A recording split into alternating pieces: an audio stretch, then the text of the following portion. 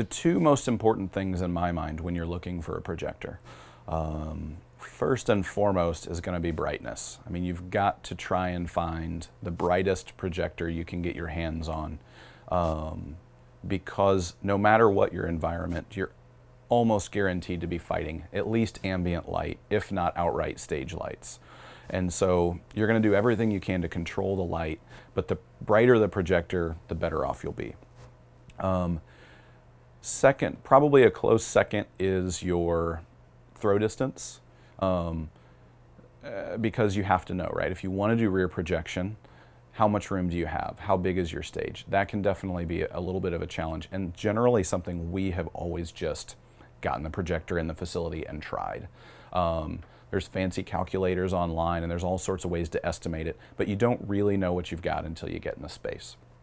Um, and probably the third thing I would say is just consider the resolution of the projector. Um, the, the drops that we work with are 1080p or full HD resolution, um, which is a fancy way of saying they're made up of 1920 by 1080 resolution pictures, which is how many dots. The more dots, the sharper the picture. And so if you get a lower resolution projector, um, you'll have softer backgrounds. If you want them to be sharper and higher resolution, you're going to want something higher definition, higher resolution.